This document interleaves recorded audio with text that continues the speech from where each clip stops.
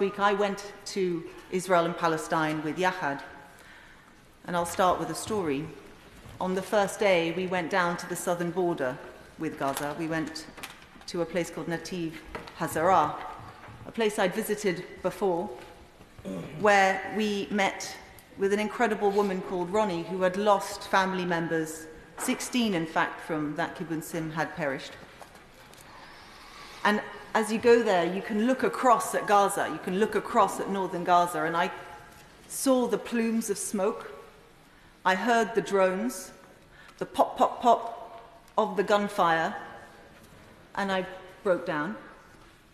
And as I walked back through the village, Ronnie, a peace activist, Israeli, took me to one side, gave me a hug, said, I'm so sorry which I said back, and we both cried and held each other. Last week, with many other members, with Yachad, we visited kibbutzim, attacked on October the 7th. We visited Jerusalem and the West Bank. I met with Rachel Goldberg, the mother of Hersh, a 23 year old who is very similar to my 21 year old. He loves travelling, he loves music festivals. He waved his mum goodbye and went off to a music festival on October the 6th. At 8.20 in the morning on October the 7th, he sent his mum two text messages. I love you. I'm sorry. She hasn't heard from him since.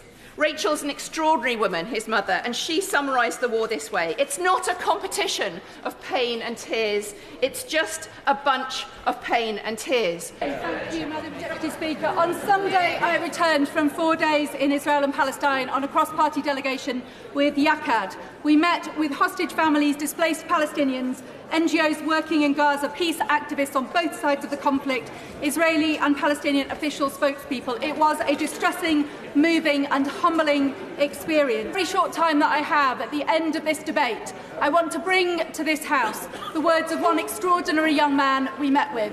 He is called Yotam Kipnis. We met Yotam in the Be'eri kibbutz, which he returned to with us for the first time since the 7th of October to visit the home from which his parents were abducted and subsequently murdered by Hamas for the first time. As we stood outside the rubble of Yotam's home, he said this to us. He said, Vengeance is a valid feeling, it is not a valid policy. Speaker, I too was on the cross party uh, emotional visit with Yachad to Israel and Palestine uh, last week, uh, where we stood at the site of mass murder in Kibbutz Be'eri and in Netiv HaAsara and heard with horror the accounts of the victims and bereaved uh, relatives of what happened there, but also stood on a bluff above Gaza City and saw the artillery landing and heard the gunfire and the drones overhead and contemplated the futility of 30,000 dead um, and with horror thought of the assault upon Rafah and its 600,000 children. We met some remarkable people. Rachel Goldberg, whose son Hirsch is still being held by Hamas. Mao Zinon and Yonatan Zaygin, whose parents were both killed by Hamas a group of young Palestinians who yearn uh, for freedom, all of them dedicating their lives to peace. They were the threads of hope uh, that we met on our visit. And they offered the prospect that these two remarkable peoples could find a way to live side by side.